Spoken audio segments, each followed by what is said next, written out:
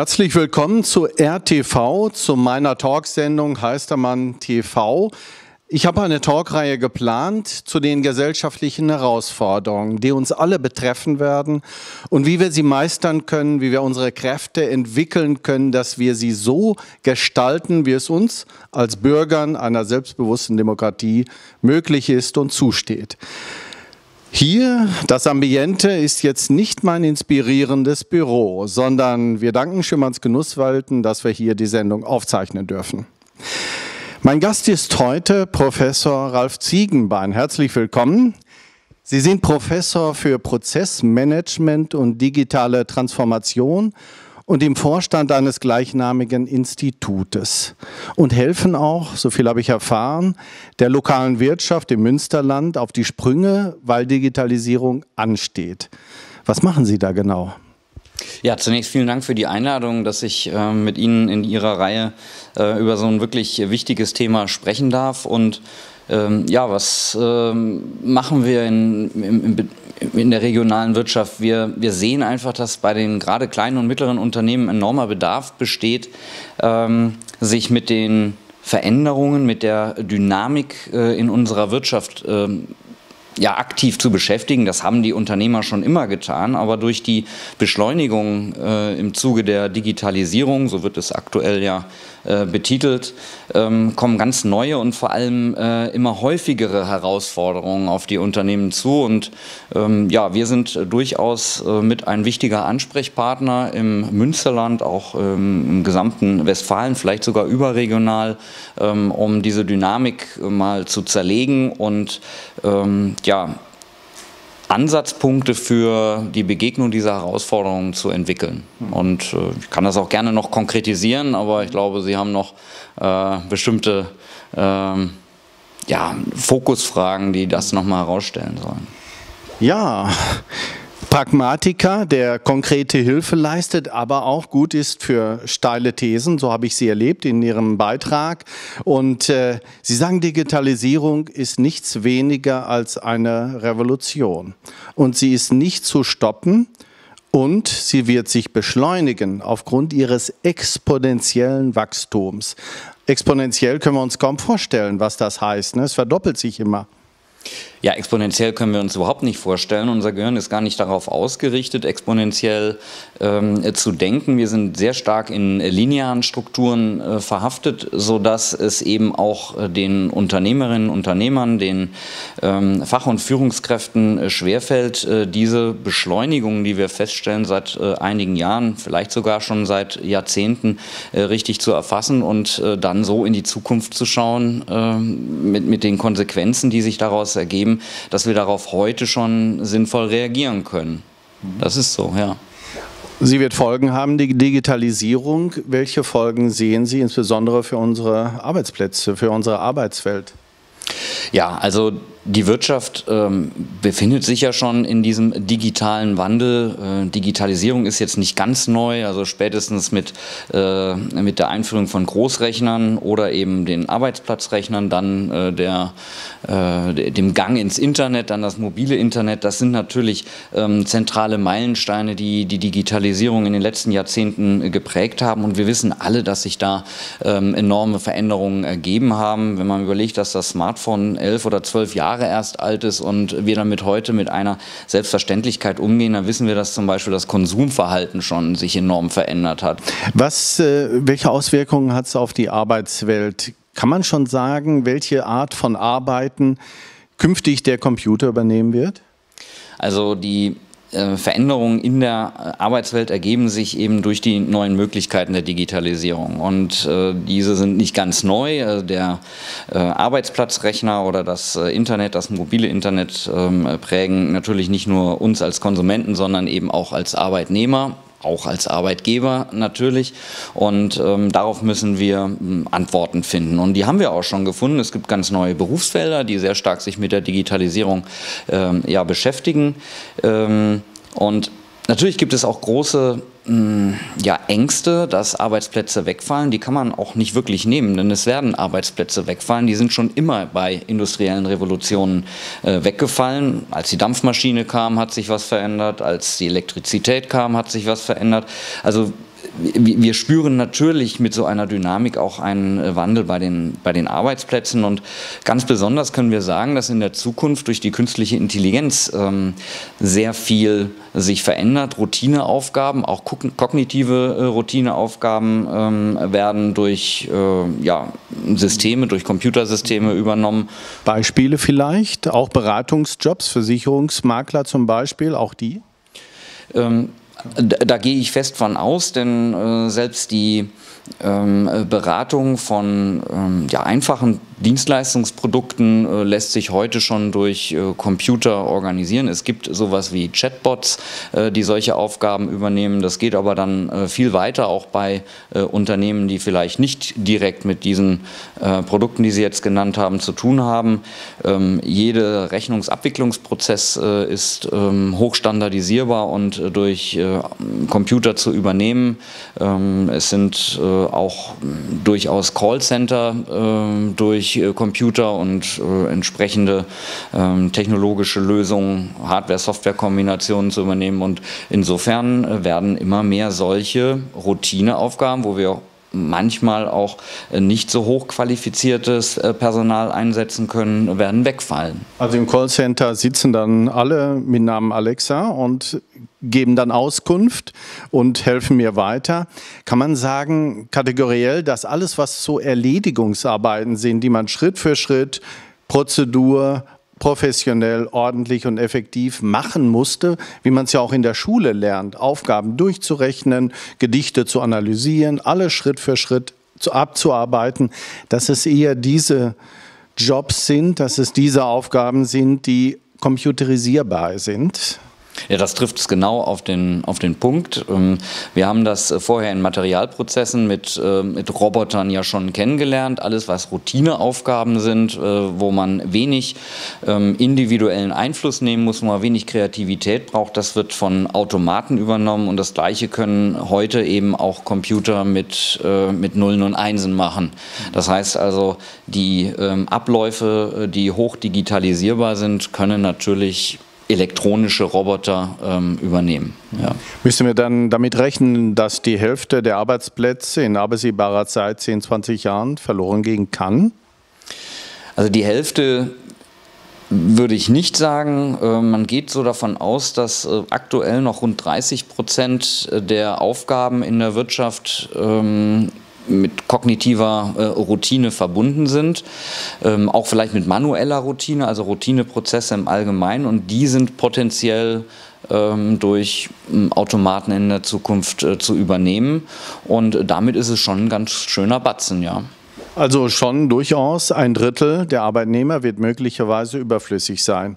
Ich erinnere mich noch, wie der Staatssekretär vom NRW-Wirtschaftsministerium ähm, der Hammer Wirtschaftsförderer Dammermann bei uns war und sagte, er kramte den Spiegel raus und sagte, damals, als die Computer, als die Roboter anfingen, äh, haben man auch gedacht, die Arbeitsplätze gehen alle verloren. So war es nicht. Und jetzt sollten wir auch keine Bedenken haben, das kann alles ersetzt werden. Also er hat eher beruhigt, aber Sie beruhigen nicht. Wenn ein Drittel wegfällt, dann bedeutet das schon was. Nun, ich glaube nicht, dass wir äh, Arbeitsplätze, die wegfallen und äh, Personen, die ihre Arbeit äh, verlieren, gleichsetzen dürfen. Wir müssen, ähm, denke ich, darauf Wert legen, so wie es auch in den ähm, vergangenen ja, Phasen der Veränderung äh, passiert ist, dass wir äh, Menschen weiter qualifizieren äh, müssen, Aufgaben zu übernehmen, die eben Roboter und Computer nicht übernehmen können. Und ähm, diese Weiterentwicklung liegt natürlich ganz stark auch in den Händen der Unternehmen, dass sie also ihre Mitarbeiter, die das Unternehmen kennen, die dort schon fest verankert sind, ähm, eben so weiterentwickelt werden, dass sie Aufgaben übernehmen, die wir, die erfüllt werden müssen, damit wir überhaupt diese Routineprozesse Prozesse äh, in Computer, in Roboterhand äh, geben können. Welche Eigenschaften brauchen diese Mitarbeiter denn dann dafür? Also sie müssen ähm, auf, zukünftig Aufgaben bewältigen, die sehr äh, individuell sind, äh, die, wo gefordert wird, dass man äh, kreativ mit Problemen äh, umgeht, dass man Lösungen äh, individuell erarbeitet, natürlich auch im Team erarbeitet und ähm, ja, Problemlösungen im Sinne des ähm, Gesamtunternehmens, aber vor allem im Sinne der Kunden auch entwickelt. Und ähm, ja, in, in diesen äh, Anforderungen und Herausforderungen stecken ganz äh, klar bestimmte Eigenschaften, die diese Menschen mitbringen sollten, beziehungsweise wo wir auf eine Entwicklung hinwirken sollten. Das ist äh, ganz klar das Thema Kreativität. Ähm, die Menschen müssen diese Kreativität mitbringen, um, um individuell wirken zu können. Sie müssen, sollten eine Neugier haben, ähm, sich auf neue Probleme auch einstellen zu können, auf neue Herausforderungen einstellen zu können. Und ich glaube ganz fest daran, dass Empathie auch eine zentrale Rolle spielt. Das heißt, Empathie im Umgang mit, ähm, mit den Kunden, Empathie im Umgang mit äh, Mitarbeiterinnen, Mitarbeitern, Kolleginnen und Kollegen, äh, Empathie auch äh, mit Bezug auf äh, eben die Aufgaben, die bewerkstelligt werden müssen. Wie kann das denn trainiert werden? Wie kann das denn ermöglicht werden, wenn ich sage als Lehrer oder Chef, sei mal kreativ, sei mal spontan, sei mal empathisch, ist das doch so wie, ja, sei mal spontan. Nee, kann ich nicht auf Befehl sein, gerade ausgerechnet nicht. Das wäre ein Widerspruch. Kann man diese so anweisen, diese Fähigkeiten, die wir brauchen? Das glaube ich nicht. Man muss einen bestimmten Rahmen schaffen und wenn wir auf unser Bildungssystem äh, mal schauen, Sie sprachen Lehrer an, äh, da glaube ich, dass wir aktuell äh, im, in der Breite zumindest ähm, ein System haben, das eben Kreativität, das auch Neugier nicht fördert, sondern im Gegenteil ähm, abtrainiert. Also wenn ich in die Schulen von heute schaue, da ähm, sitzen die Schüler in Reihen, ähm, werden gedrillt, ähm, Matheaufgaben zu bearbeiten in einer vorgegebenen äh, Zeit. Und ähm, es wird ganz klar durch Noten festgelegt, wenn du diese Matheaufgaben nicht kannst, dann kriegst du halt eine schlechte Note und ähm, kannst nicht bestimmte Meilensteine erreichen, wie zum Beispiel eine mittlere Reife oder ein ähm, Abitur und damit einen Hochschulzugang. Das ist ein preußisches System, äh, das äh, irgendwann irgendwann mal geschaffen wurde, weil Effizienz eine Rolle spielt, also Industrie 1.0, 2.0, das waren sicherlich die, die prägenden äh, Wirtschaftsrevolutionen, die wir hatten, die dazu führten, dass wir hocheffiziente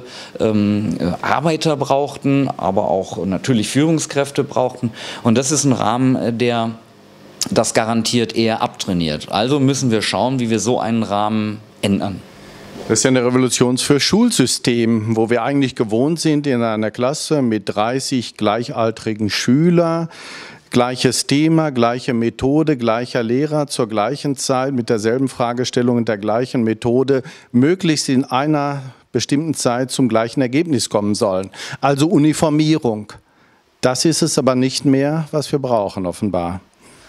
Ganz genau. Also Uniformierung und äh, Kreativität gehen natürlich äh, nicht zusammen. Äh, wir müssen diese Individualisierung schaffen und wir müssen natürlich bei unseren Kindern und Jugendlichen deren individuellen Fähigkeiten und äh, Fertigkeiten ähm, herausarbeiten lassen und zwar selbstständig. Das ist meine Meinung so, dass sie ähm, ihre Kompetenzen äh, so entwickeln, dass wir sie ähm, auch an den Stellen, wo wir diese Kreativität und Neugier brauchen, auch die Empathie brauchen, einsetzen können. Und das sind in der Tat hoch hochindividuelle äh, Fähigkeiten und ähm, das ähm, wird uns äh, in unserem Wirtschaftssystem und äh, mit den Herausforderungen, die wir eben schon besprochen haben, sehr helfen.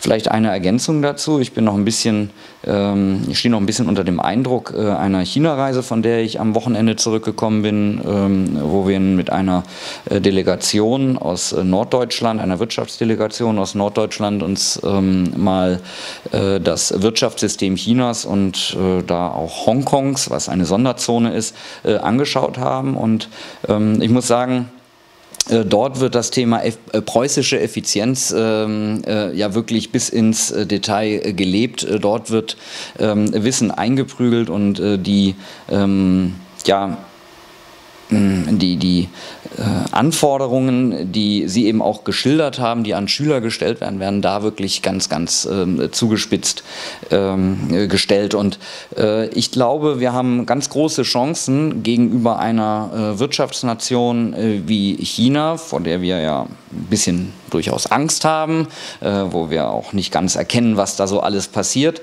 Ähm, ich glaube also, wir können äh, dieser Wirtschaftsnation äh, sehr aktiv begegnen, indem wir eben nicht so weiter denken und handeln, sondern eben eher auf die Kreativität und die Neugier setzen. Und wenn das im Team passieren soll, diese Co-Kreativität, dann ja auf Augenhöhe und nicht mit Über- und Unterordnung, sondern wenn wir unsere Würde spüren und uns auf Augenhöhe begegnen, kann es auch mit der Kreativität funktionieren. Da wären wir möglicherweise den Chinesen im Vorteil aufgrund unserer europäischen Werte wenn wir sie denn leben, wirklich. Und andere sagen, USA ist sehr ökonomisch ausgerichtet. Wir haben eine geistes, ja, wissenschaftliche, traditionelle, also Tradition, die breiter ist, die offener ist, die nicht nur ökonomische Erfolge zählt, wo auch andere Werte wie Kreativität, Empathie, Gefühl, Fantasie eine Bedeutung haben. Damals die idealistischen Philosophen und Dichter haben das ja zusammen gedacht, das Materielle und das Gedankliche und wollten das nicht gegeneinander ausspielen, sondern verbinden. Vielleicht, wenn ich jetzt mal so fantasiere, könnte das ja eine Grundlage sein des sowohl als auch. Ja, materielles ist okay, aber das, die Ideen sind genauso wichtig. Ja, absolut. Und äh, auch äh, die äh, Selbstverwirklichung, auch die Förderung äh, der Selbstwirksamkeit, das sind natürlich schon äh, Elemente, die ähm, einem ja auch äh, eine gewisse ja, Genugtuung geben, einem, einem gewissen, ja, ein gewisses Lebensgefühl ja auch geben. Und das wir ja auch ausleben können. Wir merken ja auch bei den jüngeren Generationen, dass durchaus der Wunsch nach äh, Freiheiten und nach, ähm, nach äh, dynamischen Ausgest dynamischer Ausgestaltung von Arbeitsplätzen ähm, vorherrscht. Und äh, wenn ich mir also China anschaue, da wird das äh, in, in keinster Weise ermöglicht und auch nicht äh, gewünscht. In den USA ähm, nimmt das eben sehr ja, materiell orientierte ähm, Rahmenbedingungen äh, oder, oder ähm, Auswirkungen ähm, äh, zeigt das auf. Und ich glaube, wir befinden uns, wenn man jetzt also West und Ost gegeneinander stellt, wirklich schön in der Mitte und sollten ähm, diese Pole systematisch ähm, ja, in betrachten, in Erwägung ziehen, aber das Beste aus beiden Welten vielleicht so zusammenführen, dass wir auch beiden aktiv äh, und auch mit, äh, mit äh, stolzer Brust begegnen können. Und ich glaube, wir haben in der Tat, so wie Sie es geschildert haben, die, die Potenziale dazu. Die Potenziale zu einem sowohl als auch, statt einer Einseitigkeit, die vielleicht unzureichend sein wird. Wie kann ich denn jetzt meine Potenziale entfalten. Glauben Sie daran, dass jeder Mensch ein Potenzial in sich trägt, vielleicht mehr, als wir bisher geglaubt haben? Die Hirnforscher sind ja davon überzeugt, dass Neurogenese, dass Neu- und Umgestaltung des Gehirns bis ins hohe Alter möglich ist. Äh, schönes Beispiel ist immer der 80-Jährige, der Chinesisch lernt. Nicht unter Druck, wenn es sein Chef ihm sagt. Aber wenn er sich in eine Chinesin verlieben würde, könnte es in einem halben Jahr lernen, Chinesisch. Also wenn Begeisterung, wenn Interesse, wenn Intrinsisches da ist, dann können wir unsere besten Fähigkeiten entfalten. Nur, wie geht das im Unterricht? Mach mal hier die Formel, mach mal da und dafür musst du dich interessieren. Das ist jetzt dran, das ist jetzt Thema, das ist jetzt Lehrplan.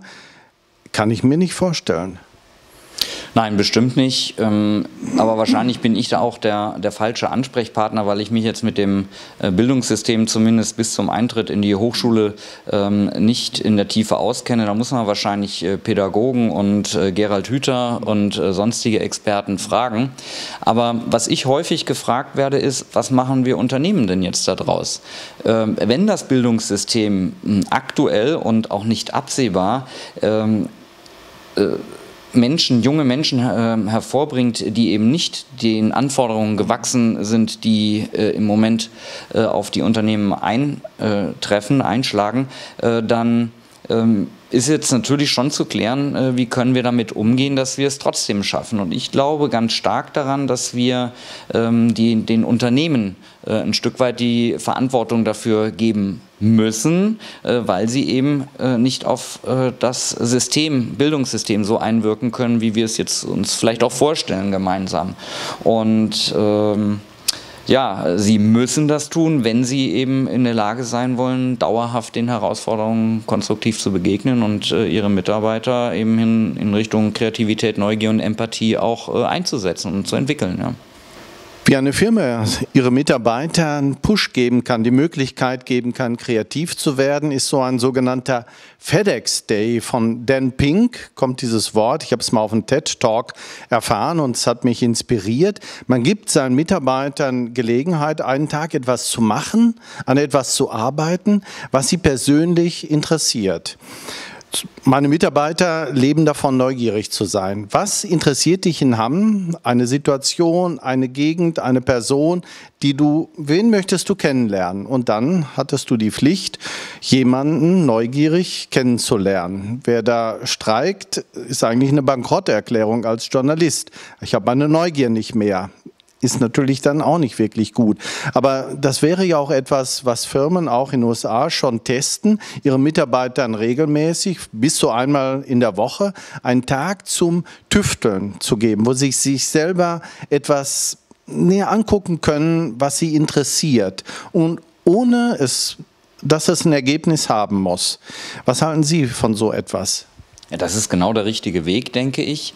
Ähm, Freiräume zu geben, um sich selbst zu entwickeln. Das ist, ein, äh, denke ich, ein ganz zentrales Element, um Neugier und Kreativität äh, zu fördern.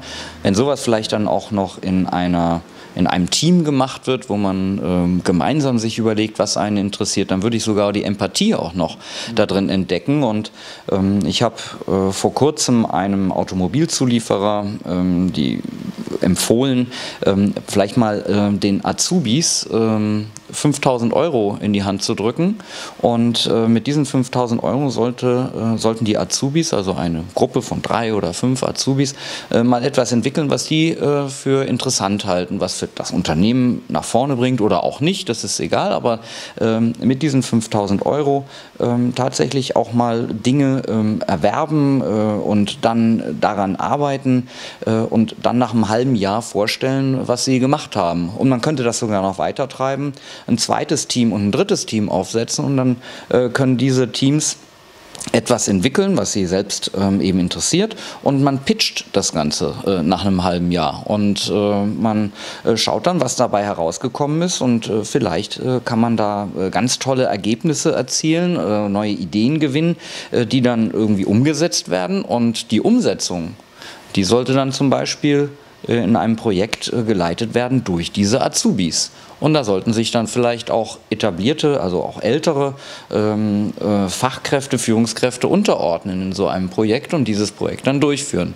Ich halte solche Möglichkeiten, äh, solche Maßnahmen für ähm, gute Möglichkeiten, auch den Transfer zwischen den Generationen hinzubekommen. Das heißt, diejenigen, die vielleicht doch noch ein Quäntchen Neugier haben, ein Quäntchen Kreativität mitbringen, äh, vor allem dann auch mit der digitalen Expertise als Digital Natives, die äh, Älteren mit an die Hand zu nehmen nehmen und ähm, gemeinsam kreativ, empathisch und neugierig zu werden.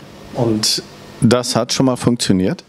Ich weiß es nicht. Es war eine Idee, äh, die ist auch auf offene Ohren gestoßen, aber wie weit das jetzt gegangen ist, ähm, äh, weiß ich, weiß ich leider nicht. Aber ich denke, äh, so können wir da auch mehrere Menschen in einem Unternehmen gemeinsam begeistern für solche ja, Veränderungen im, im Mindset, im, auch im Handeln.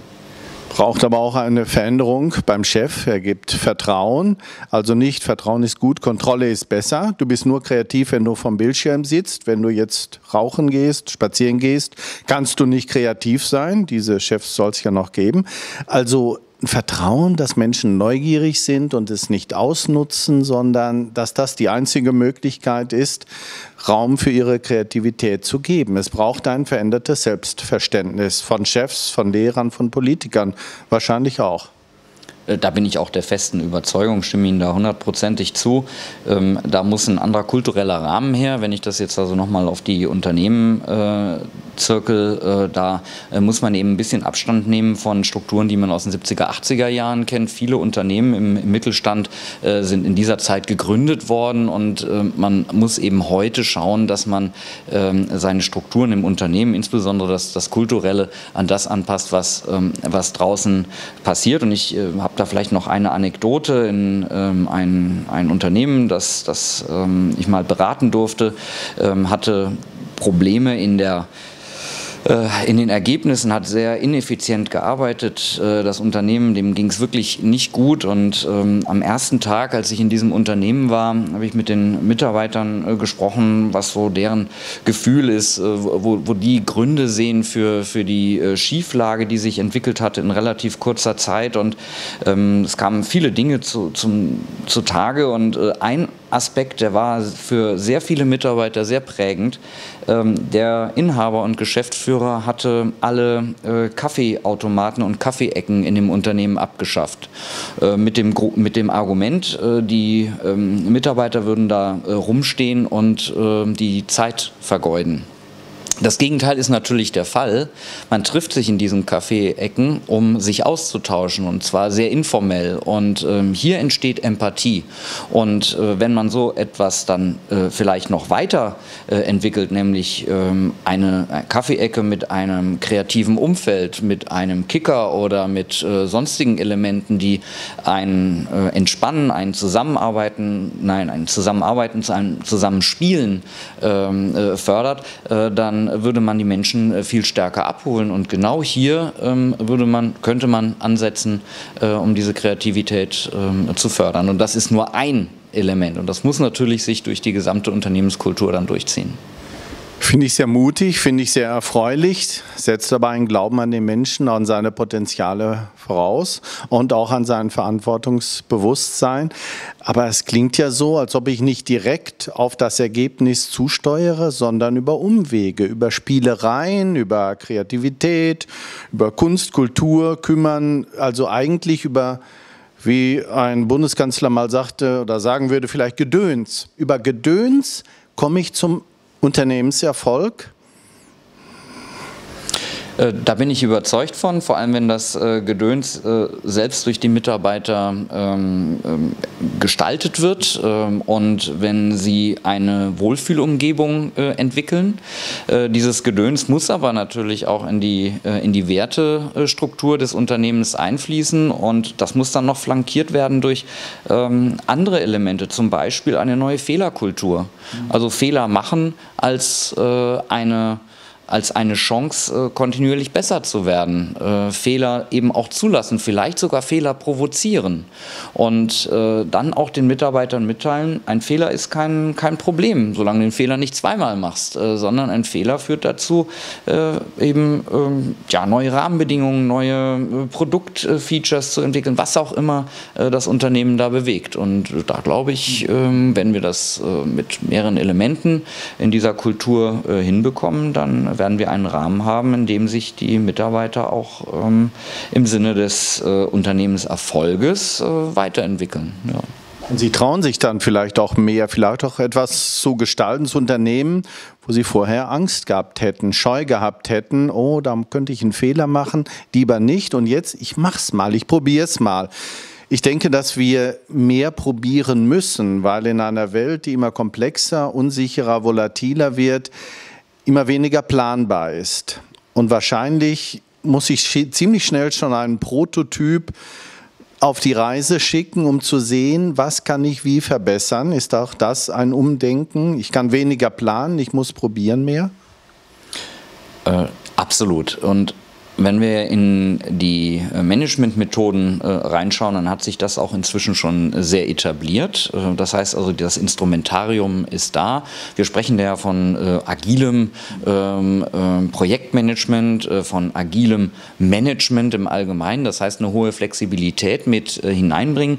Nur die Agilität ist natürlich nicht mit der Anwendung dieser einzelnen Instrumente getan, sondern da muss das Mindset passen und da müssen die kulturellen Rahmenbedingungen äh, passen. Und ja, das Spielerische, das Experimentelle, äh, das darf und muss da eine, eine wichtige äh, Rolle spielen. Und die Freiräume, die wir dafür schaffen äh, müssen, die werden sich auch auszahlen. Da bin ich fest von überzeugt. Wenn ich natürlich denke, die, die Welt ist kein Ponyhof und die Menschen sind eigentlich alles, ne? wenn ich so eine Einstellung habe, wird es mir sehr schwer fallen, auf einmal wertschätzend, empathisch, freiheitgebend, vertrauend mit Mitarbeitern umzugehen. Wie soll das dann klappen, wenn ich eigentlich in mir tief misstrauisch bin? Kann das gehen? Oder werden die nicht länger Manager sein in diesen Unternehmen?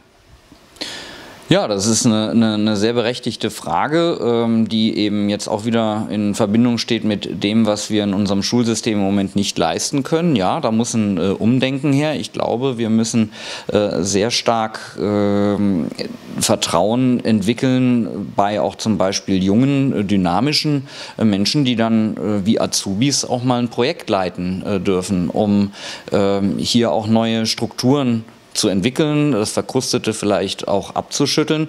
Allerdings natürlich äh, muss da äh, die, äh, die Top-Führung, also das heißt der Inhaber oder die Inhaberin, Geschäftsführer, Geschäftsführerin, genau diesen Willen auch haben und ähm, auch die Potenziale sehen und äh, das äh, in die, ähm, ins Unternehmen hineindrücken. Das ist äh, gar keine Frage. Also drücken klingt jetzt schon wieder so, so stark. Ähm, äh, in Richtung Vorgaben. Äh, es muss vielmehr der Rahmen geschaffen werden. Und äh, das wird Unternehmen auch insofern gut tun, als dass es ja durchaus schon einen spürbaren Fachkräfte- und Führungskräftemangel gibt. Und wer halt seine Unternehmenskultur ausrichten kann auf eine hohe Dynamik, auf eine Offenheit, auf Kreativität, Neugier, der wird sicherlich auch einen stärkeren Zulauf haben als die Unternehmen, die in, einem, in einer Welt der 60er, 70er Jahre des vergangenen Jahrhunderts Jahrhunderts äh, hängen geblieben sind. Also da meine ich, ähm, wird äh, auch der Arbeitsmarkt ein Stück weit richten. Ja. Ja, wenn die Arbeitnehmer entdecken, was sie interessiert, ein Anliegen, was ja, vielleicht ihr Herz höher schlagen lässt, können sich ja diese Fähigkeiten, diese Kreativität entwickeln. Vielleicht gerade was passiert, wenn es in der Schule im Unterricht noch nicht stattfindet. Friday for Future, die Kinder haben ein Herzensanliegen und entwickeln Managementfähigkeiten, Öffentlichkeitsarbeit, Wissen eignen sie sich an, sie stellen sich den ganzen, ja, der Kritik auch. Und äh, vielleicht ist das eine Ironie, von wem auch immer, dass hier die Kinder etwas lernen, kreativ mit Herausforderungen umzugehen, was Schule ihnen bislang kaum vermitteln konnte. Ja, finde ich einen äh, sehr, sehr schönen Gedanken. Und äh, ja, man äh, soll Herausforderungen auch wirklich Herausforderungen sein lassen und ähm, auch das Vertrauen darin haben, dass äh, jeder mit dieser Herausforderung umgehen kann. Also auch, auch im Unternehmen. Also warum soll ähm, jemand, der im Rechnungswesenprozess äh, unterwegs ist, nicht eine Idee haben, wie man den Kunden stärker bindet oder wie man ihm ähm, seine Bedürfnisse äh, besser erfüllt. Also warum äh, müssen wir in den Strukturen sein und bleiben, die wir, die wir bisher gekannt haben, äh, nur weil es effizienter ist? Mhm. Und auch hier vielleicht noch mal zurückblickend auf eine äh, Frage, die Sie äh, vorhin schon gestellt haben, äh, wenn die Computer äh, diese Routineprozesse äh, im Unternehmen äh, übernehmen werden, dann haben wir natürlich auch die Chance, nicht mehr so viel daran denken zu müssen, sondern eben die Chance, die Menschen mit ihren Kreativitäts- und Neugierpotenzialen auch an den Stellen einzusetzen, wo wir, wo wir sie dann auch benötigen. Wenn ich an die Folgen denke, dass Mitarbeiter kreativer werden, mehr Selbstvertrauen, Selbstbewusstsein auch haben, empathisch sind und vielleicht auch dadurch couragierter auftreten, werden sie noch so leicht zu führen sein, so leicht nach Anweisung funktionieren wie bisher, aus Angst, irgendwie einen Fehler zu machen, aus Angst entlassen zu werden. Wird es selbstbewusstere Mitarbeiter geben, mit denen die Chefs dann auch klarkommen müssen? es braucht sie unbedingt und ich glaube gerade das Thema Anforderung und Führung muss sich halt komplett ändern. Ähm, man muss sich auf Augenhöhe begegnen und äh, das heißt, die Kompetenz ähm, des einen darf nicht verstanden werden als die Gefahr für den anderen, sondern äh, das muss ein Mosaik äh, werden. Äh, das heißt, jeder bringt seine Fähigkeiten, Kompetenzen, Ideen ein und zwar äh, ohne dass ähm, unmittelbar eine Aussage, eine Idee oder sonstiges äh, relativiert wird, äh, sondern es muss akzeptiert werden. Und ähm, deshalb bin ich der Überzeugung, dass das, was wir schon seit hm, Jahrzehnten fordern, äh, flache Hierarchien, um äh, Dynamiken zu ermöglichen, äh, dass das ein ähm, ganz klares äh, Muss ist. Und zwar Hierarchien vielleicht sogar ähm, so weit auflösen, dass man permanent in wechselnden Teams arbeitet. Funktioniert natürlich nur mit einer entsprechenden Empathie. Empathie, die man mitbringt, die dann aber auch jeder mitbringen muss. Und äh, das ist ein ja, weiterer Baustein dann. Ich habe da noch ein Unbehagen.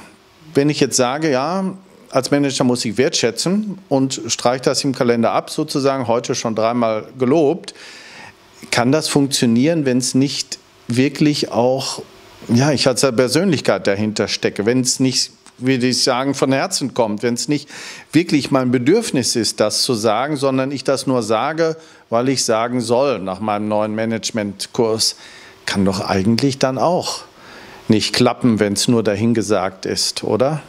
Also ich muss schon wirklich als Persönlichkeit das Gefühl entwickeln, aber das ist schwer, ne? Ja, genau, das ist schwer. Ich meine, es ist ja jetzt auch nicht ähm, das erste Mal, dass wir über Wertschätzung äh, sprechen oder über äh, die äh, Förderung einer neuen äh, Fehlerkultur oder von Empathie. Also das ist in den, in den Managementphilosophien der letzten Jahrzehnte natürlich immer wieder äh, Gegenstand. Und ähm, es, es kann jetzt auch nicht sein, dass wir sagen, äh, ja, jetzt macht's mal endlich, sondern ähm, mein Verständnis ist das, dass wir ähm, anfangen müssen, diese, äh, diese Denkweisen, auch dieses empathische Verhalten eben äh, in dem Bildungssystem in unserer Gesellschaft ähm, zu, zu entwickeln, damit wir eben Führungskräfte auf Dauer haben, die das können.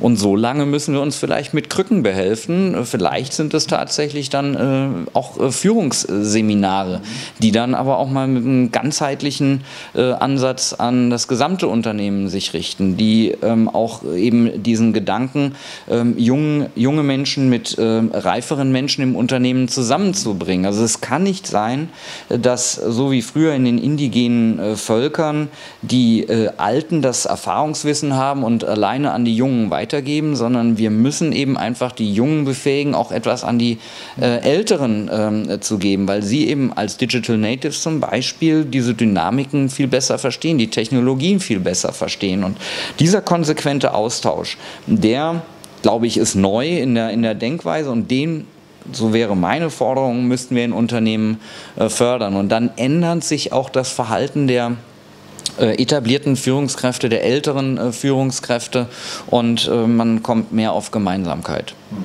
Das heißt, Verschiedenheit muss ich akzeptieren, vielleicht sogar wirklich mich daran erfreuen, weil es den Laden bunt macht und kreativ macht und ähm, wenn kreative Vorschläge sind, sofort zu vergleichen, zu sagen, ja, aber wird es Kreativität runterdimmen oder abdämpfen.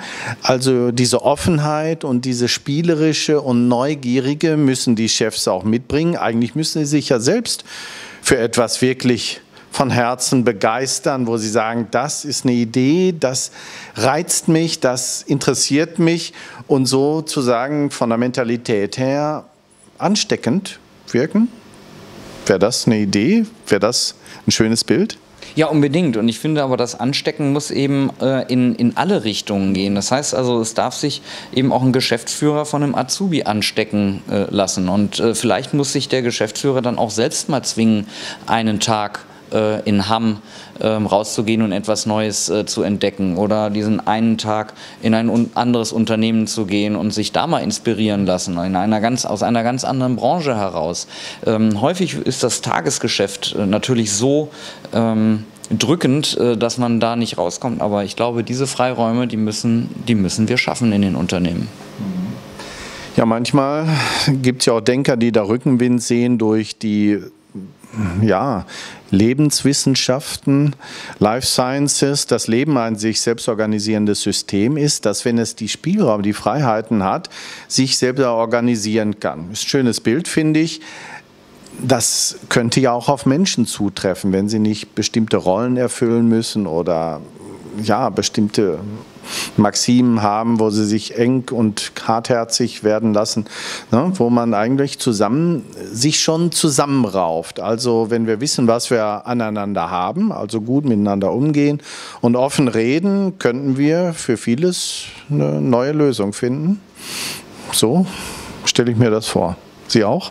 Ähm, äh, klingt äh, vernünftig. Ich glaube, wir müssen den Rahmen, der eben durch irgendwelche Leitplanken gegeben ist im Unternehmen, äh, deutlich äh, stärker weiten ähm, und dann die Dynamiken damit erhöhen, also Brownsche Molekularbewegung, ja, also das heißt den, den Rahmen erweitern und dadurch auch viel mehr Bewegung erlauben im äh, Unternehmen. Das heißt, diese Gradlinigkeit auflösen und äh, Seitwärtsbewegungen auch äh, erlauben ähm, und äh, gleichzeitig aber gemeinsam auf ein Ziel hinarbeiten, das scheint mir sinnvoll. Aber nochmal, das ist auch nicht ganz neu. Also das hat man äh, in den Management-Theorien findet man das auch seit, ähm, seit Jahrzehnten.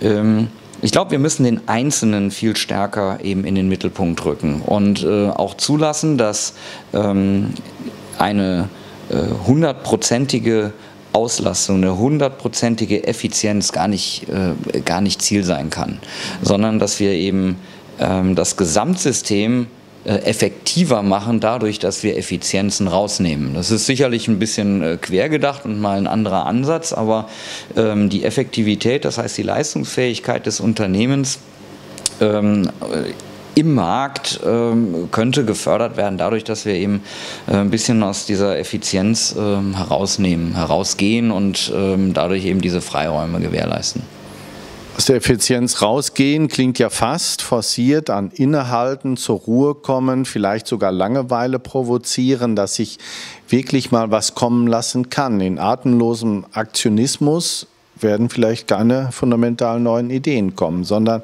es braucht auch so ein, ja, fast schon retardierendes Moment, dass etwas entstehen kann. Jetzt noch provozierender vielleicht. Ja, absolut. Und da kommen wir wieder zurück auf das Thema Automatisierung. Ähm, wenn wir durch äh, die neuen Möglichkeiten in der, der, der Digitalisierung die äh, Routineaufgaben wegnehmen können, äh, den Mitarbeitern, dann nehmen wir da den Effizienzdruck eben raus. Und ähm, es klingt vielleicht ein bisschen überraschend, aber ähm, Karl Marx hat genau das gefordert. Er hat gesagt, nehmt die Maschinen, damit ihr als, ähm, als Menschen, als Arbeitnehmer mehr Freiräume habt, äh, damit ihr, äh, damit es euch besser geht, damit ihr aber auch kreativer werdet, damit ihr ähm, auch äh, stärker lebt. Und genau das steckt eigentlich jetzt in diesen gesamten Forderungen mit drin. Also das Reich der Freiheit, wo ich flexibel, offen, sein darf und meinem Herzen folgen kann und vielleicht sogar fast schon ein Stück weit nach Lust und Laune arbeiten, experimentieren, kommunizieren kann. Bricht das ein Stück weit an? Ich hoffe. Also das, das, das muss, das ich bin der festen Überzeugung, das muss kommen. Das muss jetzt nicht vielleicht äh, in 2020 oder 2021 sein, aber äh, wir müssen das perspektivisch sehen. Und ich denke, die Unternehmen, die als erstes so einen äh, Rahmen schaffen können, auch einen Werterahmen schaffen können, einen kulturellen Rahmen schaffen können, die werden äh, dauerhaft erfolgreich sein. Und äh, dann eben auch so Wirtschaftsräumen wie den USA oder China äh, als gesamtes ähm, Wirtschaftssystem Deutschland ähm, begegnen können. Herr Professor Ziegenbein, wir stehen vor einer Revolution. Digitalisierung wird alles umkrempeln, unser Leben, unser Arbeiten. Wir werden kreativer werden müssen, vielleicht eher dürfen. Wir werden gemeinsam kreativ werden dürfen und ja, unsere Fähigkeiten entwickeln und über uns hinaus wachsen können. Angesichts der Digitalisierung, was wünschen Sie sich da von den Menschen, von der Politik, von Unternehmen? Ja, das ist äh, sehr vielschichtig und ähm, wahrscheinlich lässt sich das gar nicht in einem Satz zusammenfassen. Die äh, Politik, glaube ich, muss ein, ein Umdenken mitbringen äh, hinsichtlich der Bildungspolitik. Ich glaube, die Strukturen, wie wir sie heute haben, sind nicht die, die wir, äh, die wir benötigen, um die Fach- und Führungskräfte so zu entwickeln, wie es die Herausforderungen der Wirtschaft, ähm, aber auch der Gesellschaft ähm, mitbringen. Es gibt Leuchtturmprojekte und wenn ich das richtig verstanden habe, werden Sie in Ihrem nächsten Talk einen entsprechenden Vertreter ähm, hier haben und befragen. Diese Leuchtturmprojekte, die müssten viel stärker Berücksichtigung finden und ähm, vielleicht als Musterbeispiele auch in eine äh, in Schulformen ähm, überführt werden, die ähm, auch die Anforderungen, die äh, Bedürfnisse äh, berücksichtigen und äh, auch hoch individuell sind und ähm, auch die individuellen Lerntypen berücksichtigen. Das gleiche gilt dann natürlich auch für ähm, Hochschulen. Ich bin ein Vertreter und sehe auch hier einen äh, Handlungsbedarf. Also hier sind wir auch gefordert, äh, in unsere Lehre mh, die äh, neuen Anforderungen mit einfließen zu lassen und zu berücksichtigen. Ich glaube, das tun wir auch schon ein Stück weit und ganz besonders würde ich mir natürlich von den Unternehmern wünschen, dass sie diesen Weitblick bekommen und und äh, erkennen, dass sie zunächst mal gefordert sind, ähm, schnell zu reagieren, weil unser Bildungssystem wird nicht so schnell ähm, verändert und dann äh, die jungen Menschen hervorbringen, die wir benötigen mit ihren Kompetenzen und äh, da selbst ähm, aktiv zu werden. Und ein Stück weit gehört natürlich auch Mut dazu. Äh, ich glaube, das Wichtige ist auch Weitsicht, also auch sich ähm, nicht den Blick äh, in die USA oder in, nach China oder in andere Wirtschaftsräume verschließen, sondern äh, eben zu sehen, was dort passiert und sich gleichzeitig auch auf die äh, eigenen Fähigkeiten, äh, die wir historisch haben in der Wirtschaft, ähm, zurückzubesinnen und ähm, hier eine Kombination dessen, was äh, die Digitalisierung mit sich bringt und das, was wir an, in der äh, Wirtschaft äh, an äh, Grundstrukturen, an etablierten Kompetenzen haben, auch miteinander intelligent zu verbinden. Also sehr, sehr vielschichtig und ja, ich denke, wir müssen da alle auch als Gesellschaft darauf hinwirken. Diese Welt, wo die We-Q, die Wir-Intelligenz, die gemeinsame Kreativität eine größere Rolle spielt, können wir uns darauf freuen? Äh, ich denke ja. Äh, wir haben äh, ganz, ganz viele Chancen. Ähm, in Deutschland tendieren wir ja leider dazu, erstmal die Risiken zu sehen. Ähm, ich glaube, wir haben eine sehr schöne, eine sehr gute politische, auch wirtschaftliche Grundstruktur als Grundvoraussetzung für ähm, tolle Entwicklungen, die wir noch vor uns haben. Unser Auftrag ist es jetzt, unser aller Auftrag ist es, das auch auszugestalten und ja, damit zu machen, äh, wo es äh, andere Wirtschaftsräume vielleicht auch fordern und gleichzeitig unsere Werte zu behalten. Denn ich glaube, da können wir recht stolz sein in Europa, äh, wenn man in die anderen Wirtschaftsräume mal schaut. Haben wir den Mut, uns zu vertrauen? Vielen Dank, Herr Professor Ziegenbein, dass Sie da waren. Ich lade schon mal jetzt ein zum nächsten Talk mit Frank Wagner, den Leiter der Gebrüder Grimm Grundschule. Er hat den Deutschen Schulpreis gewonnen, weil er sagt, Schule funktioniert nicht mehr so wie früher. Die Welt hat sich gewandelt. Wir müssen kreativer werden. Wir dürfen mehr ausprobieren. Wir müssen Freude am Lernen haben und nicht nur Funktionierer und Pflichterfüller werden, die unter Müssensdiktate irgendwie zäh was abarbeiten, sondern spielerischer, mutiger, kreativer sollen Schüler sein und er hat es hingekriegt. Er hat eine ganz andere Schulkultur entwickelt und die Ergebnisse sprechen für sich. Die Ergebnisse der Schüler in den landesweiten Tests sind deutlich über dem Durchschnitt und wie das funktioniert, das ist das Thema des nächsten Talks.